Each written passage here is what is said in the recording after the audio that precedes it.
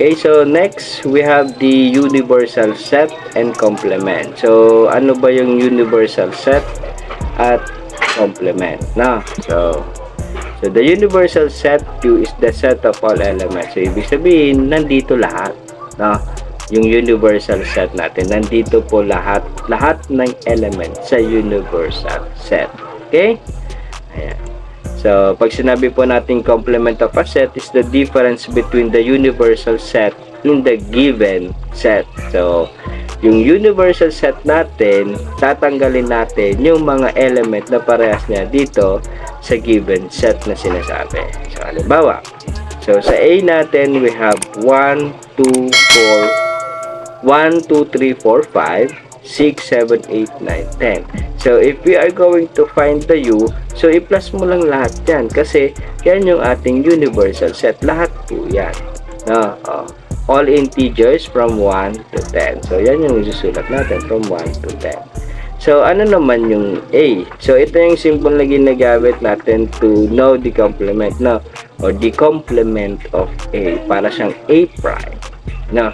So, ano ba yung A prime? So, ibig sabihin, itong 1, 2, 3, 4, 5, tatanggalin natin yan dito sa ating universal set. So, alam naman natin na ang universal set natin is 1 to 10.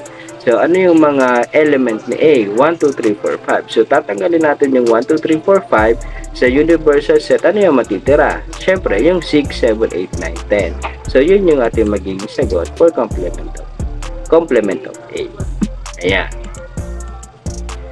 Halimbawa, ito, universal set natin. A, B, C, D, E, F, G, H, I, J, K, L, M, N, O, P, Q, R, S, T, U, V, W, X, Y, Z. So, lahat ng ating na nasa alphabet natin kasama. So, yung A natin, vowels. Yung B natin, um, consonant. Na? So, kukunin daw natin yung ating A prime. Na? Yung A prime natin is IUU. So, ano yung tatanggalin natin tong IUU na to? So, matitira itong B, C, D hanggang Z na to dito. No? Wala lang yung ating mga vowels. So, yung B lang yung magiging sagot natin. Ayan, yan yung ating A prime. Yung number 2 natin, yung B prime natin, ito yung ating B. So, tatanggalin mo to lahat dito sa universal set. Yung matitira is yung IUU. So, yan yung ating uh, B prime. Ayan, so nakuha. Another one, example. So, universal, we have hanggang 10, from 1 to 10. Uh, yung K natin is 2, 4, 6, 8, 10. Yung L natin is 1, 3, 5, 7, 9. M is 1, 4, 7, 9. So, hanapin daw natin si K prime. So, 2, 4, 6, 8, 10. So, tanggalin natin si 2, si 4, si 6, si 8, at saka si 10. So, ang matitira is 1, 3, 5, 7, 9. So, yun yung ating K prime. Ayan. So, next, we have the L prime. So, tanggalin natin itong 1, 3, 5, 7, 9 dito. 1, 3, 5, 7, 9. So, matitira is 2, 4, 6, 8, 10. So, yun yung ating L prime. Ayan. So, dito naman sa M, kukunin natin na ang nakalagay dito is 1479 tatanggalin natin sa universal set.